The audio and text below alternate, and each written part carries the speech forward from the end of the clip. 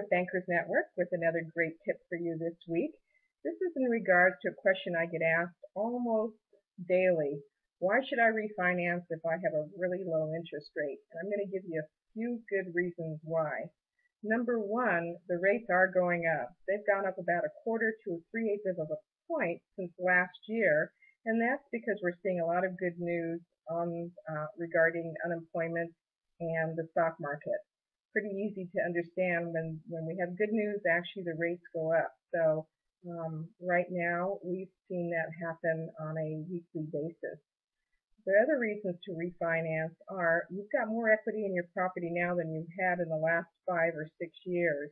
So where you might not have been able to refinance in the past, you can right now.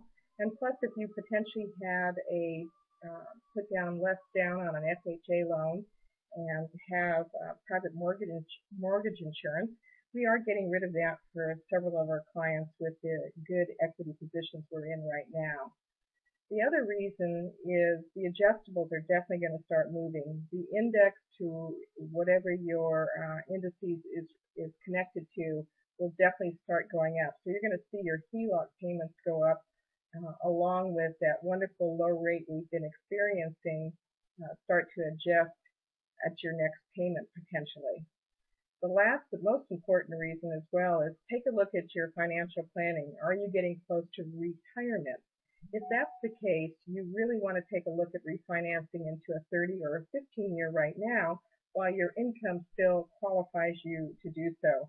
I always get very sad when I get calls from past clients after they've retired and ask me to refinance their very small loans sometime, and I can't do it with just the Social Security and small pension plans some people have.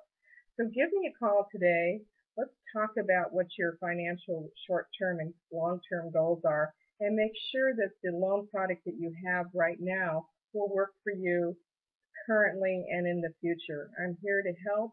Looking forward to hearing from you, and have a great day. Bye-bye now.